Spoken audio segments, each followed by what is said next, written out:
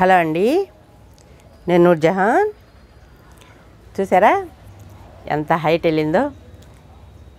ఏం మొక్కలు ఇవి? గెస్ట్ చేయండి. చాలామంది గెస్ట్ చేసేసి ఉంటారు. అదిగోండి అక్కడ ఒకటి మొక్క ఉంది. ఎంత హైట్ వెళ్ళిపోయింది. పసుపు. పసుపు మొక్కలండి ఇవన్నీ. ఈ నల్ల పసుపు. నల్ల పసుపు చూసారా? నల్ల పసుపు రెండు కలిపి వేసాను అక్కడ. ఎంత చూడండి కాండం ఎంత మొదలు ఎంత హైట్ అయిపోయిందో ఈ బ్లాక్ టబ్లో. ఈ బ్లాక్ టబ్లో అల్లము నాటాను చూడండి అల్లము నాటాను పసుపు నల్ల పసుపు. ఈ మూడు రకాల వెరైటీస్ నాటాను. నల్ల పసుపు నేను నాటిన పసుపు పైకి వచ్చేసింది మట్టిలో నుంచి అలా పైకి వచ్చేసింది చూడండి. ఆ కొమ్ము నేను పెట్టాను. ఆ కొమ్మును పెట్టిన తర్వాత ఎంత కాండం ఎంత బలంగా అయిపోయి ఎంత పసుపు వచ్చేసిందో చూడండి అప్పుడే. ఇది నేను నాటి త్రీ మంత్స్ అవుతుంది. చూసారా? త్రీ మంత్స్కి ఎంత బలంగా పసుపు వచ్చేసింది. ఆ బ్లాక్గా ఉన్నాయి బ్లాక్ పసుపు తెలిసిపోద్ది అనమాట అదిగో చూడండి. బ్లాక్గా వస్తుంది స్టార్టింగ్. తర్వాత ఇది మనం పసుపు మన మామూలు పసుపు మనం వాడుకునే పసుపు ఇదంతా అల్లం. ఇవన్నీ ఎలా ఉన్నాయా అంటే మీరు పసుపు నాటారు కదా ఎలా ఉన్నాయి ఎలా గ్రోత్ వస్తుంది కిచెన్ వేస్టేజ్ చూడండి. సగమే టబ్బులో సగమే ఉందంటే ఎంత బలంగా ఎంత హెల్తీగా ఎంత షైనింగ్ చూడండి ఎలా ఉన్నాయి ఆకులు. ఎంత చక్కగా పెరుగుతున్నాయి మన కిచెన్ వేస్ట్ కంపోస్ట్లో. అల్లం చూసారా? ఇది చూడండి. ఇవి అల్లము పసుపు మామిడి అల్లము నల్ల పసుపు ఇవన్నీ ఒక్కసారి చూపించండి అని అడుగుతున్నారు. ఎలా ఎంత గ్రోత్ వస్తుందనేది నేను చూపిస్తున్నాను. ఇది చూడండి. ఇది మూడించులు. బౌల్ చూసారా? ఇది మూడించుల బౌల్లో అల్లం చూసారా? ఎంత వచ్చిందో? అల్లం నేను అలా చిన్న చిన్న అవి చెప్తారు కదా మొలకలు.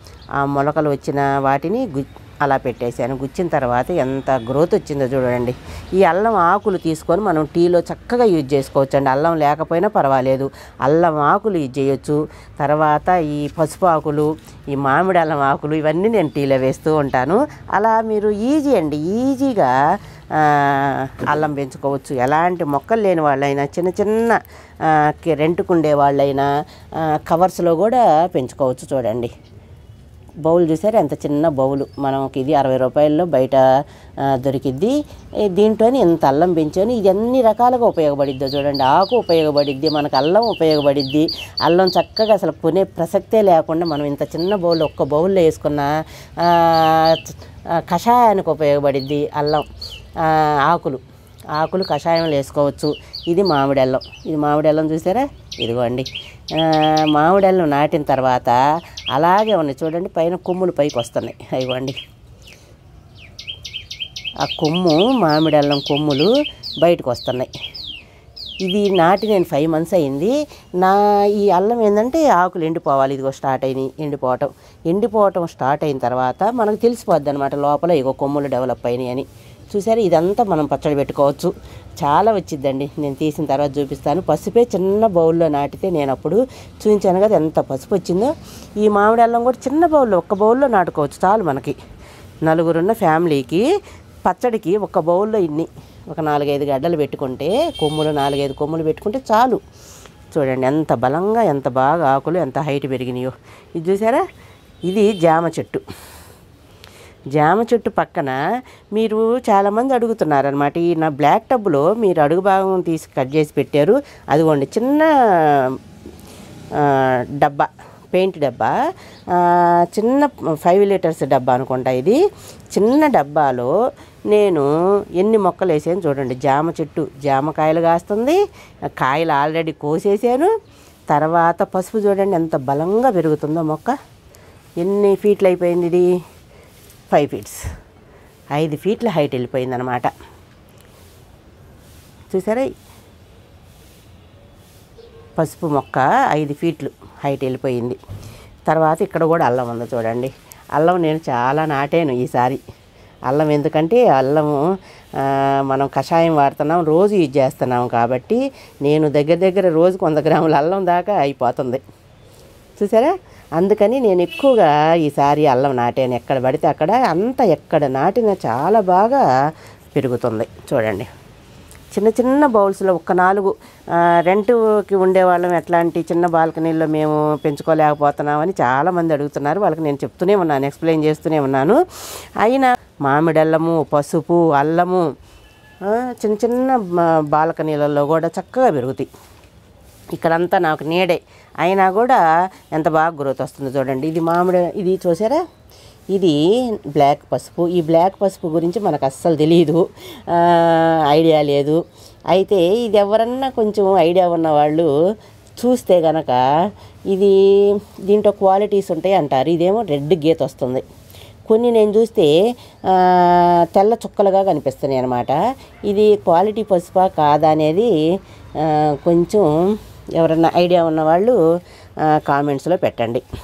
అదిగోండి. అట్లా వస్తుంది నల్ల పసుపు. ఇది చాలా దూర ప్రాంతం నుంచి తీసుకొచ్చి ఇచ్చారని చెప్పాను కదా. నాకైతే ఈ నల్ల పసుపు ఉంటుందా అని కూడా స్టార్టింగ్లో ఐడియా లేదు. తర్వాత వాళ్ళు తెచ్చి ఇచ్చిన తర్వాత నేను నాటిన తర్వాత విపరీతంగా గ్రోత్ అండి. చూడండి ఎంత వచ్చిందో. ఇలా వస్తుంది. రెడ్ కలరు గీత. గీత వచ్చి చూడండి ఎంత బాగా నెమలి పించంలాగా. సైడ్స్ సైడ్స్ చూసారా? అలా వెళ్ళిపోతున్నాయి అనమాట గీతలు గీతలుగా.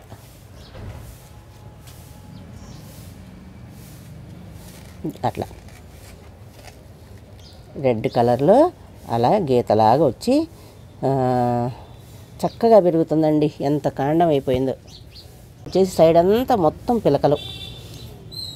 అన్ని పిలకలు వచ్చినాయో చూడండి. ఇట్లా ప్రతి ఒక్కళ్ళు బాగా పెంచుకోవచ్చండి. ఇంత గ్రోత్ ఉంది మాది చూడండి ఎట్లుందో. ఆ ఒక్క బ్లాక్ టబ్లోనే వేస్తేను ఎన్ని మొక్కలు? కొంచెం దూరం నుంచి చూపిస్తున్నాను. అదిగోండి. బ్లాక్ టబ్లో ఉన్నది అంతగానం వచ్చేసింది. ఇక్కడ పసుపు ఇంకా అటు కూడా వేసాను. అటు సైడ్ కూడా చాలా అక్కడక్కడక్కడక్కడ మడుల్లో కూడా నాటేసాను అనమాట పసుపు. అలా అది కింద కింద డెవలప్ అయిపోద్ది. మనం తవ్వుకుంటే బాగా అలా వచ్చేస్తుంది. ఇది అల్లం. ఇది మామిడి అల్లం. చూశారు కదా?